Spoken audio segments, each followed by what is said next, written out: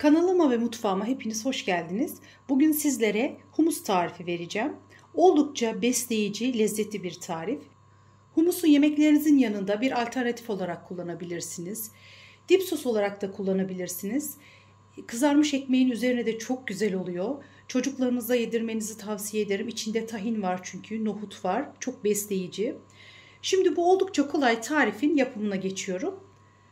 Ben bir gece önce ıslattığım nohutlarımı düdüklüme koydum ve güzelce yumuşayana kadar haşladım. Burada hemen hemen 2 su bardağına yakın nohutum var.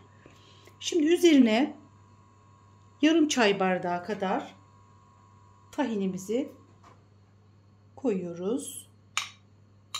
Benim tahinim normal beyaz tahin, çifte kavrulmuş değil arkadaşlar. Şöyle. Burada 5 diş sarımsağım var. Onu da robotuma koyuyorum. Bir tane limon suyum var. Onu da döküyorum. Limon suyunu damak zevkinize göre e, daha doğrusu koyduğum bütün her şeyi baharatları, e, tuzunu, yağını damak zevkinize göre siz değiştirebilirsiniz. Azaltıp çoğaltabilirsiniz. Tuzumuzu ilave ediyorum. Biraz da kimyon koyuyorum. Tabii ki humusun olmazsa olmazı. Biraz da zeytinyağı gezdiriyorum.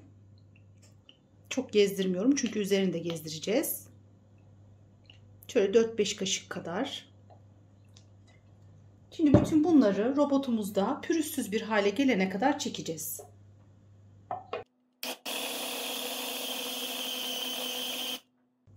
Robotumuzda çektik.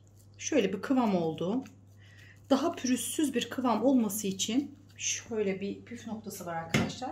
Birazcık sıcak su döküyoruz.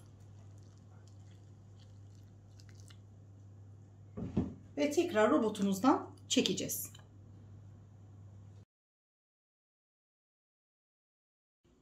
Bakın kıvamı ne kadar güzel oldu.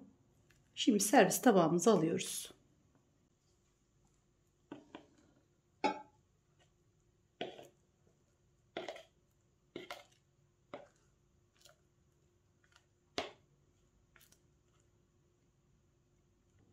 Şöyle şekil veriyoruz tabağımıza.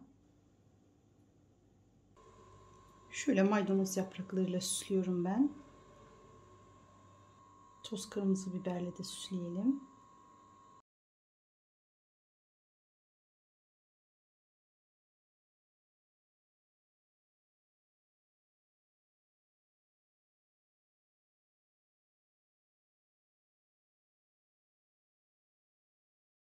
Son olarak da üzerine zeytinyağı gezdiriyoruz.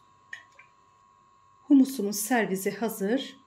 Gerçekten görseli ve tadı çok güzel oldu arkadaşlar. Ben biraz önce baktım. Mutlaka denemenizi tavsiye ediyorum. Bugün de videomun sonuna geldim. İnşallah beğenerek ve severek izlediğiniz bir video olmuştur. Kanalıma abone değilseniz abone olmayı, videolarımı da beğenmeyi lütfen unutmayın. Değerli yorumlarınızı da bekliyorum. Bir dahaki değişik, pratik ve çok güzel tariflerde görüşmek üzere. Hoşçakalın.